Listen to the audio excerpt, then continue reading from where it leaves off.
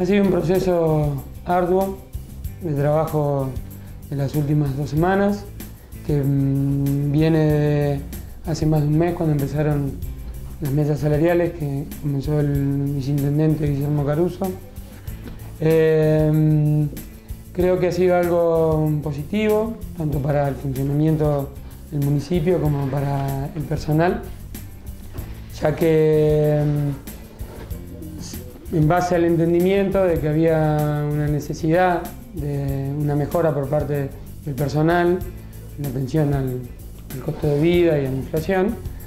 el municipio pudo desarrollar una propuesta que atendía esa situación y que por otra parte empieza a generar condiciones para trabajar en el corto y en el mediano plazo en temas vinculados con la organización municipal, con eh, la promoción de la capacitación de las personas, con la implementación de, horarios y turnos rotativos, semanas no calendarios y mm, generando un espacio a que en un plazo razonable se haga una revisión general de la composición salarial del municipio. En principio, el municipio siempre trabajó con una idea de, readecuación salarial y de, mm, de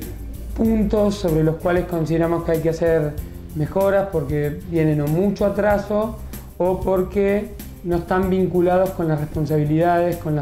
y las funciones del personal. Eh, en un principio nosotros eh, proponíamos que este proceso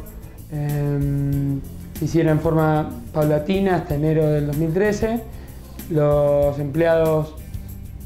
plantearon una necesidad de mejora en, el corto plazo, en el, inmediato plazo, y entre las dos partes pudimos llegar a un acuerdo que contempla las dos situaciones. A partir de octubre empezaríamos a trabajar sobre un análisis técnico de la, de la escala salarial y de las funciones del personal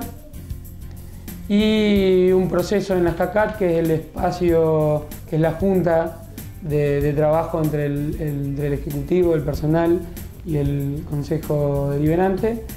en la que empezaremos a poner, a tratar de poner en vigencia, en base a lo acordado, los puntos que plantea el municipio. Municipalidad de Villa La Angostura.